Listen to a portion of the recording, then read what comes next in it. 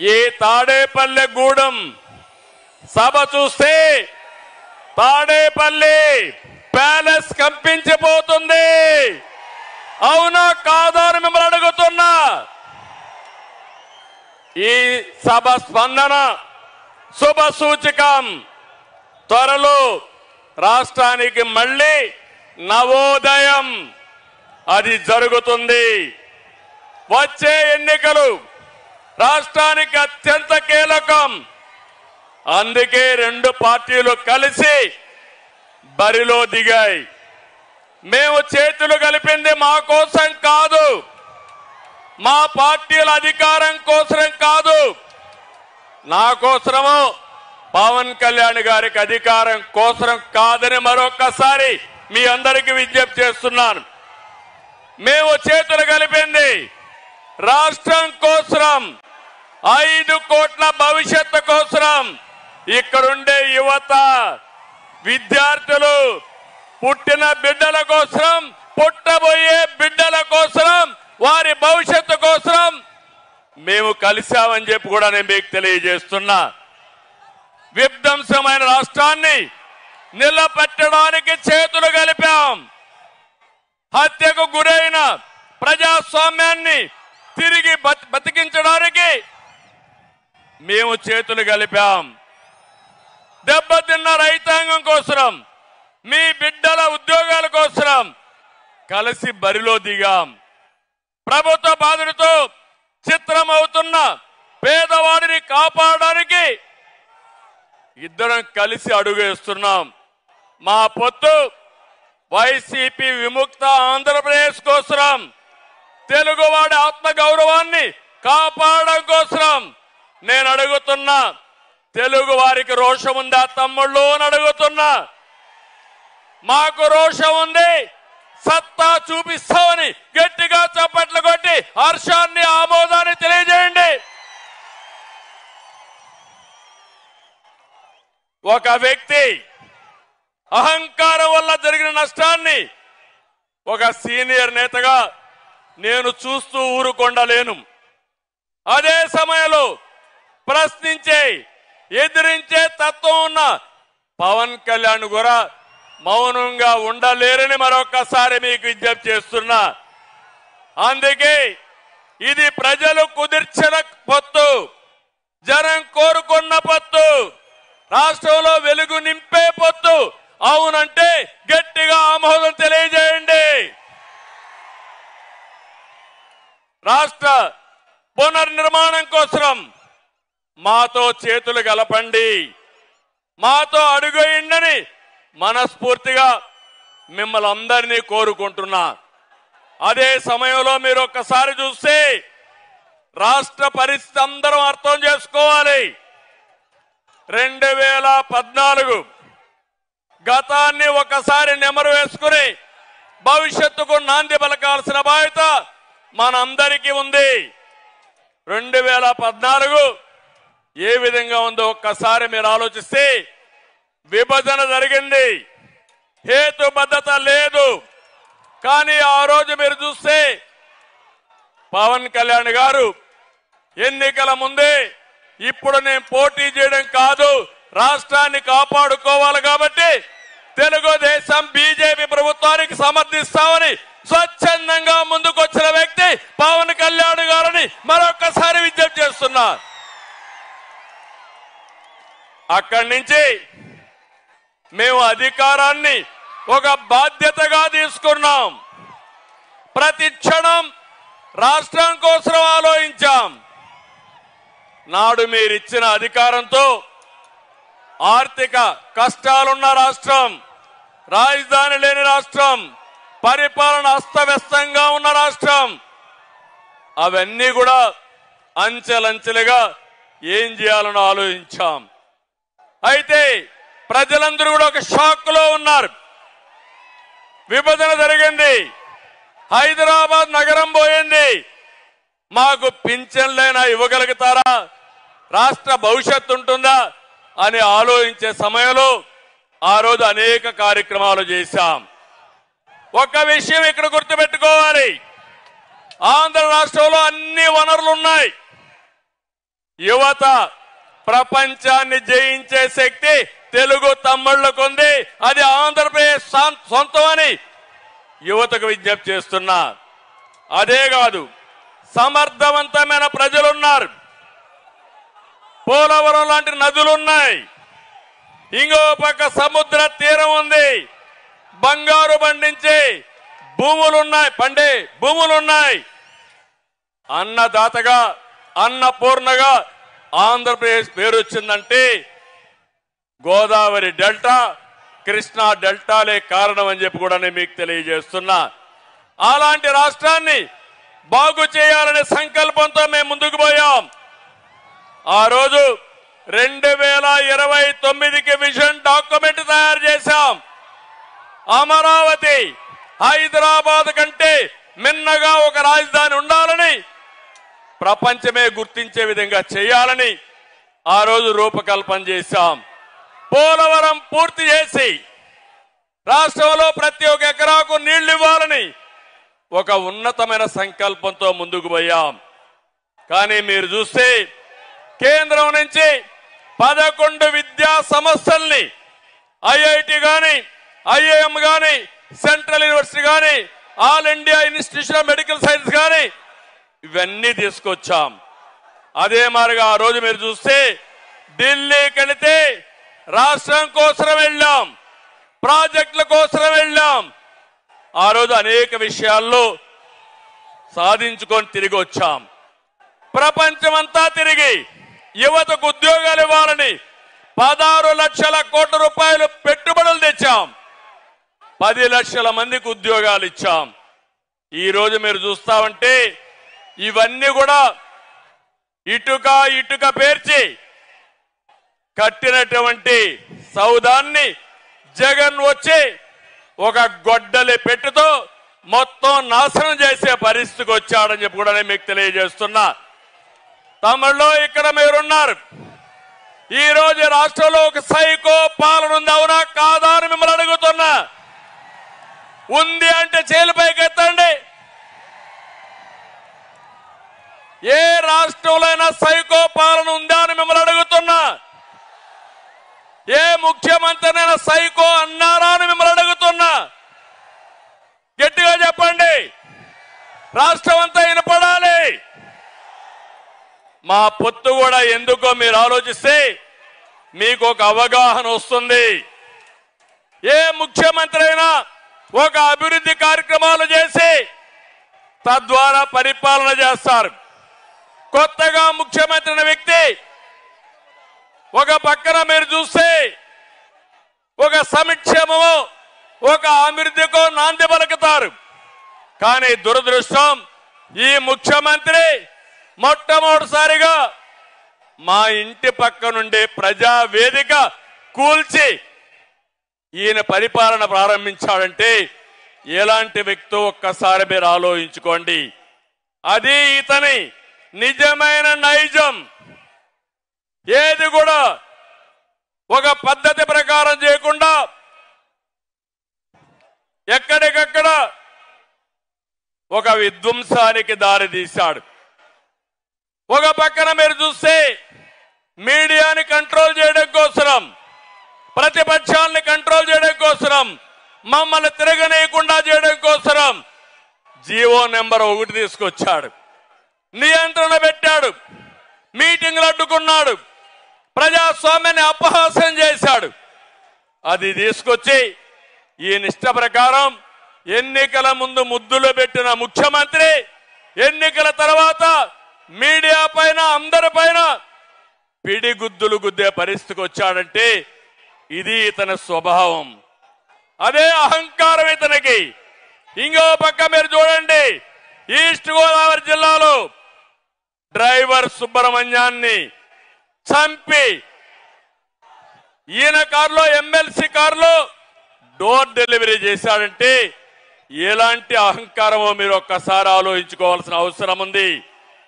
అన్న క్యాంటీన్ పెడితే ఐదు రూపాయలకే ఒక పూట తిండి పెడితే అలాంటి అన్న క్యాంటీన్ని మూసేయడమే కాదు అన్న క్యాంటీన్ ద్వారా అన్నం పెట్టకూడదన్న దుర్మార్గుడు అలాంటి వాడిని మీరు చూస్తే ఇది ఒక పెత్తందారి వ్యవస్థకు నిదర్శనం అని చెప్పి కూడా నేను మీకు తెలియజేస్తున్నా. రాజధానిని అడ్డుకున్నారని ఆ రాజధాని మీద శాసనమండలిలో బిల్లు పాస్ చేశారని శాసన మండలి రద్దు చేయాలని పోయాడంటే ఎంత అధికార దుర్వినియోగం మీరు ఆలోచించుకోవాల్సిన అవసరం ఉంది. మాస్క్ అడిగిన దళిత డాక్టర్ సుధాకర్ని పిచ్చోడిని చేసి చంపేశారు. ఇది అతని అరాచకానికి పరాకాష్ట అని చెప్పి కూడా నేను మీకు తెలియజేస్తున్నా.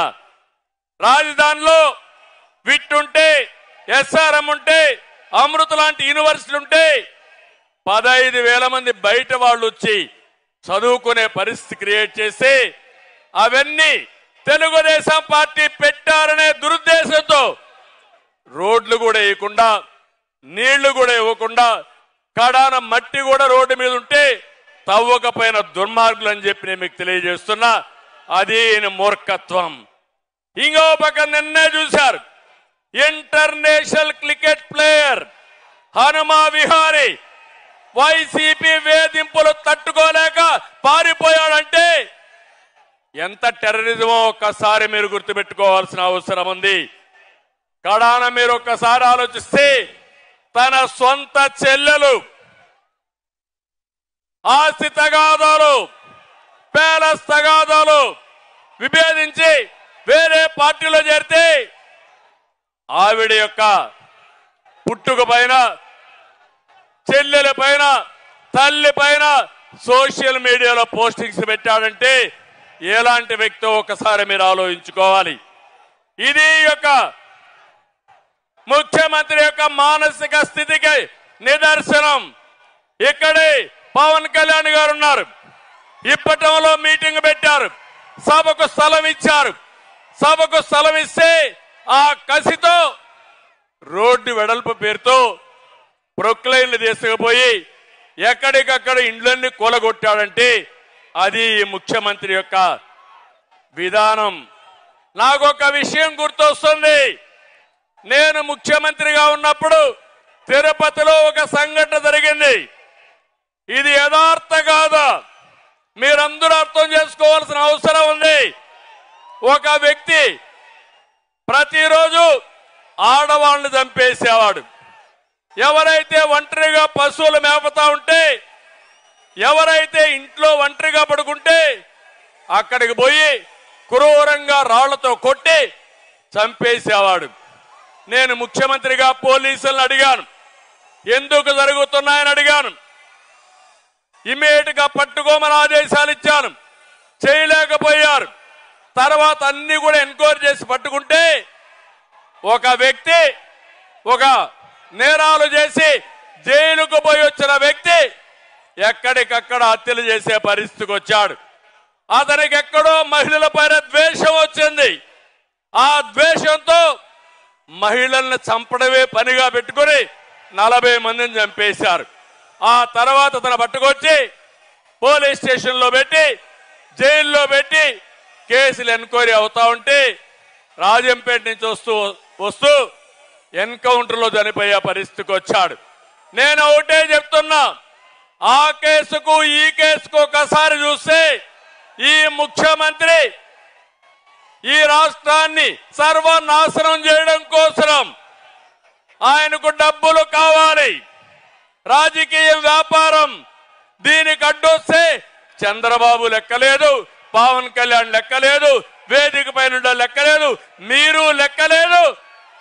అందరినీ అణిచివేయడమే ఆదేశంగా పెట్టుకుని ముందుకు పోయే పరిస్థితికి వచ్చాడు. నేను అందుకే మిమ్మల్ని అందరినీ కోరుతున్నా. ఈ రోజు మనందరి పైన ఒక పవిత్రమైన బాధ్యత ఉంది. వైఎస్ఆర్ కాంగ్రెస్ పార్టీని చిత్తు చిత్తుగా ఓడించి సైకో నుంచి రాష్ట్రాన్ని విముక్తి చేయాలి.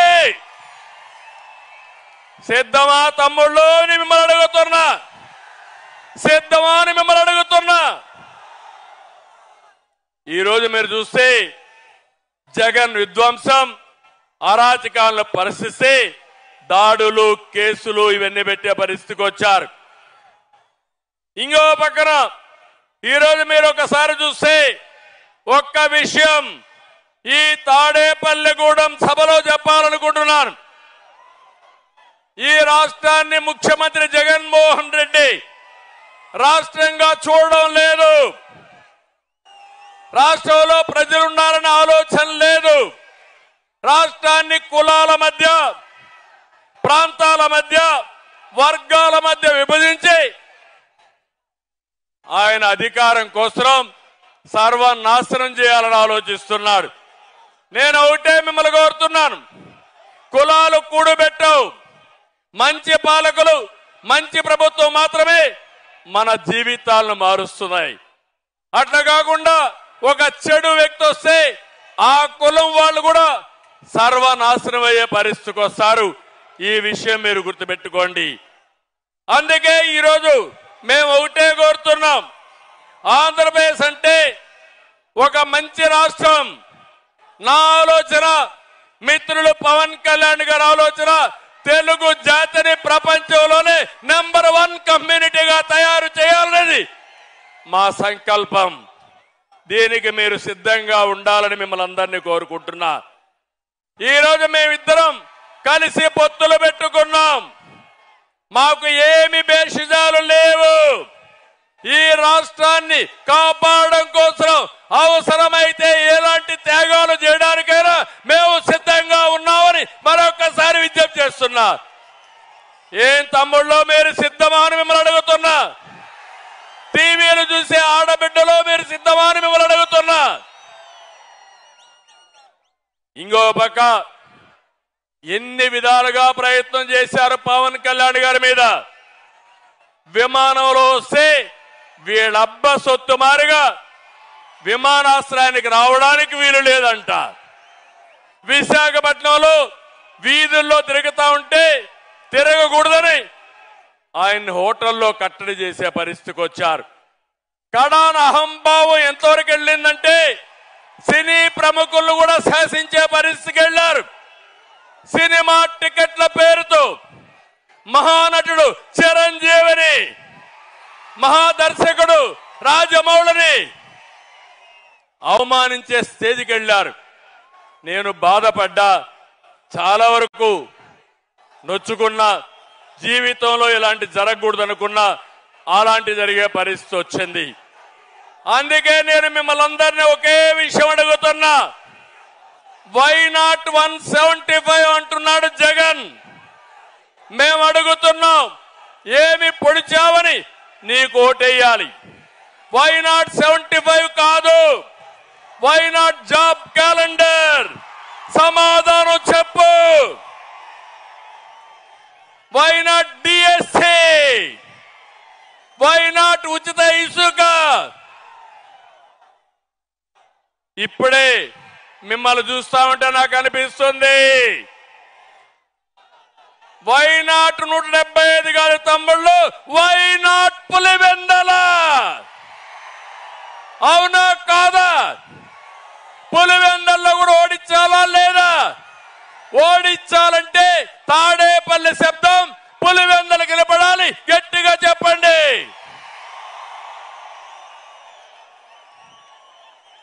నేను ఒకటే చెప్తున్నా. ఇవన్నీ వదిలిపెట్టు జగన్మోహన్ రెడ్డి. ఊ కిల్డ్ బాబాయ్. ఊ కిల్డ్ బాబాయ్. సమాధానం చెప్పమని సవాలు విసురుతున్నా. న్యాయమవునా కాదా యువత? తమ్ముళ్ళు. ఇంకో పక్క జగన్ ఒక బ్లఫ్ మాస్టర్.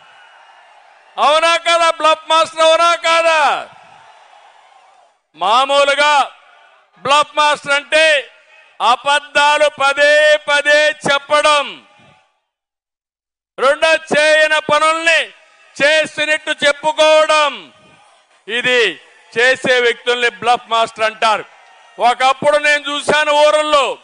కణికట్టు కట్టేవాళ్ళు. కణికట్టు అంటే ఉన్నది లేని పదే పదే చెప్పి మనం నమ్మించాలని ప్రయత్నం చేసేవారు.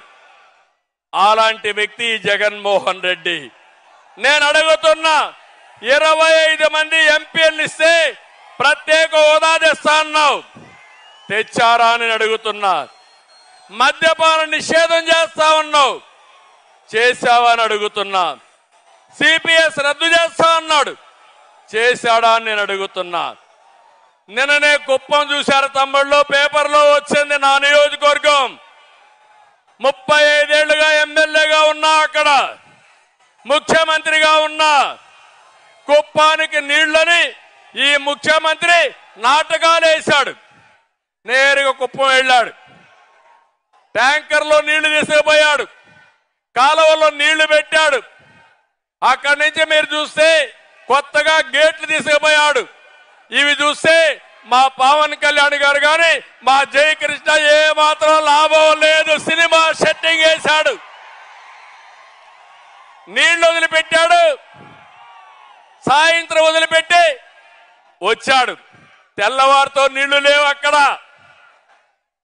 గేట్లు పెట్టాడు. ఉదయం పదకొండున్నర గంటలకు గేట్లు పెట్టి తర్వాత రోజున పదిన్నర గంటలంటే ఇరవై మూడు గంటల్లో సినిమా సెట్టింగ్లు కూడా తీసుకొని వెళ్ళిపోయే పరిస్థితికి వచ్చారు. ఇది ముఖ్యమంత్రి విశ్వసనీయత. నేను చెప్తున్నా నేను మొన్నే పిలిపించా నా నియోజకవర్గం ప్రజలకు విజ్ఞప్తి చేశా లక్ష ఓట్ల లక్ష్యంగా బాబుకు సహకరించమని ఒక పిలిపించా. ఈరోజు ఇక్కడ చెప్తున్నా జగన్మోహన్ రెడ్డి నా నియోజకవర్గంలో లక్ష మెజారిటీ వస్తాయి. నీ నాటకాలు ఎవ్వరూ పట్టించుకోరని మరొకసారి తెలియజేస్తున్నా. తమిళ్ళు ఇంకో పక్క ఒక ఫ్లాప్ సినిమా జగన్ది. రెండు వేల పంతొమ్మిదిలో అధికారం కోసం పాదయాత్ర చేశాడు జ్ఞాపకం ఉందా అని మిమ్మల్ని అడుగుతున్నా. నేను గాని అనుకోనంటే పాదయాత్ర చేసేవాడా అని మిమ్మల్ని అడుగుతున్నా. నాకు ఒక్క అవకాశం ఇవ్వండి అని బి- బుగ్గలని మీరాడు జ్ఞాపకం ఉందా అని అడుగుతున్నా. ముద్దులు పెట్టాడు జ్ఞాపకం ఉందా అని అడుగుతున్నా. ఇవన్నీ కూడా పెట్టి పెద్ద పెద్ద ట్రైలర్స్ రిలీజ్ చేశాడు. మీరు అనుకున్నారు బాహుబలి సినిమా చూపిస్తాడని చెప్పి అనుకున్నారు. ఐదేళ్ళు పరిపాలన చూశారు. ఎక్కడికక్కడ అట్టర్ ఫ్లాప్ అయింది. నమ్మి ఓట్లేసిన వారు చీకొడుతున్నారు. ఆ cinema utter flop utter flop. దీనికి సీక్వెల్ ఉండదు. ఒకటే తెలుసుకోవాలి తమ్ముళ్ళు జనసేన సైనికులు తెలుగుదేశం తమ్ముళ్ళు ఒకటే గుర్తుపెట్టుకోవాలి. అట్టర్ ఫ్లాప్ అయిన సినిమాకి మళ్ళా సీక్వెల్ ఉంటుందా తమ్ముళ్ళు? అందుకే ఆ సినిమా అయిపోయింది. నలభై రోజులే ఉంది.